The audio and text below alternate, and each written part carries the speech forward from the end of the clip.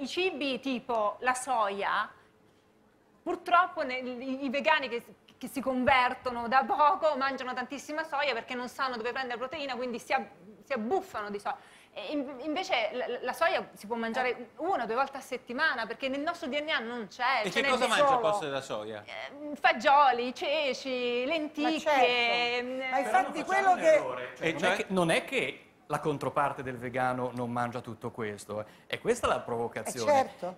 Mangiare frutta e verdura non vuol dire essere vegani. Io promuovo un'alimentazione in cui la carne, il pesce e le uova sono ben presenti, una percentuale del 20% facciamo complessivamente, e tanta frutta, verdura, cereali integrali, semi. Questa è la vera alimentazione che tutte le autorità sanitarie internazionali che si occupano di Ma politiche come ce la invidiano pubbliche- in tutto il mondo? Questa è la, La vera. Non è che i legumi non li mangiano gli onnivori, non è che la frutta e la verdura non li mangiano, ma insieme anche alla carne, al pesce, che sono delle sostanze ricchissime di elementi nutrizionali, sono dei cibi assolutamente nutrienti, in alcune fasi della vita come l'infanzia, la gravidanza, la senescenza, sono pressoché Cioè insostituibili. tu dici che a 100 anni si arriva, si arriva meglio se c'è una dieta che tiene dentro tutto quanto? Ci sono degli studi molto precisi Come, che insomma, addirittura Guarda, che, Prego, fa, prego. che fa bisogni proteici in terza e quarta età dovrebbero aumentare certo. del doppio perché Questo- ci sono fenomeni di deperimento muscolare e su- suggeriscono proprio gli amminoacidi essenziali di cui parlava Claudia e soprattutto le fonti proteiche nobili. Ci sono indicazioni molto precise da questo punto di vista. Chi dice il contrario è semplicemente Allora, fuori io dalla posso scienza. essere... Io Io posso ti essere... rispondo, ehm, ovviamente, ti- allora, non ti rispondo da vegana ma da naturopata scientifica, che essendo naturopata scientifica seguo la scienza, come stava dicendo lui, cioè non, non possiamo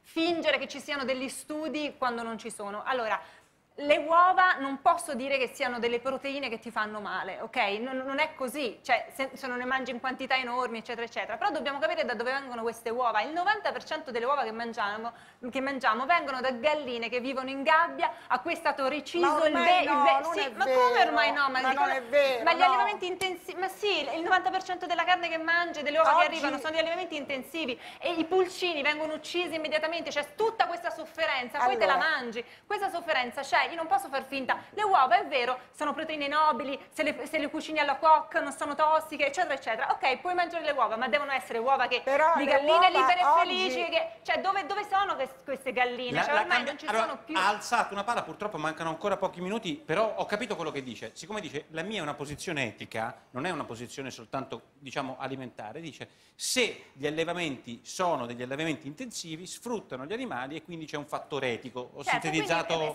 questo, non, non Lei non- posso mangiarlo. Come rispondiamo? Gli aspetti etici sono davvero una cosa molto personale e io mi fermo prima di entrarci, però bisogna guardare le cose nella loro correttezza e completezza. Gli allevamenti intensivi italiani, non sta a me difenderli, sono Sì. un'eccellenza, Esatto. un'eccellenza. E chi dice il contrario... sofferenza, eccellenza di sofferenza. Scusami però, nessuno ha più idea di come muoia una zebra sbranata viva da un leone. Ma quella è natura. Quella è natura ma è sofferenza. Noi non facciamo più questo genere di cose, c'è qualcuno che fa questo lavoro per noi in maniera anche molto cautelativa della sofferenza animale. Abbiamo una legge in Italia sul benessere animale che ce le invidiano in tutto il mondo. c'è Sì, ma tu hai visto ma Ne riparleremo,